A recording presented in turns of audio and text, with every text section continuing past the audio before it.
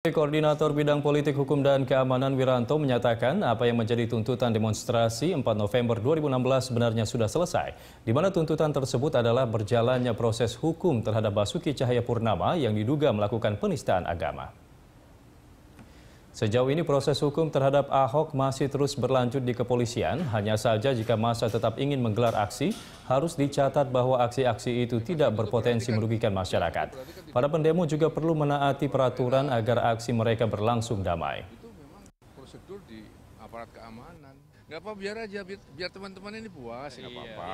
Demo seperti itu itu Sementara terkait isu seputar adanya partai politik tertentu yang membiayai aksi demonstrasi tersebut, Wiranto enggan berkomentar.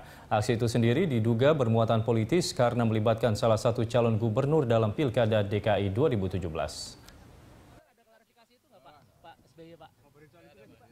Tapi yang pasti adalah bahwa tatkala masalahnya sudah terjawab, nah lalu tujuan demonstrasi apa?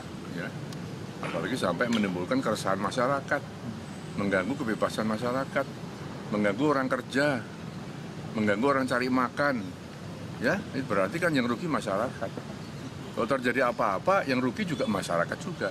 Nah kami aparat keamanan hanya menjaga jangan sampai berjaga-jaga sampai jangan sampai ya eh, kalau ada demonstrasi itu menjurus kepada satu eh, aksi-aksi yang negatif.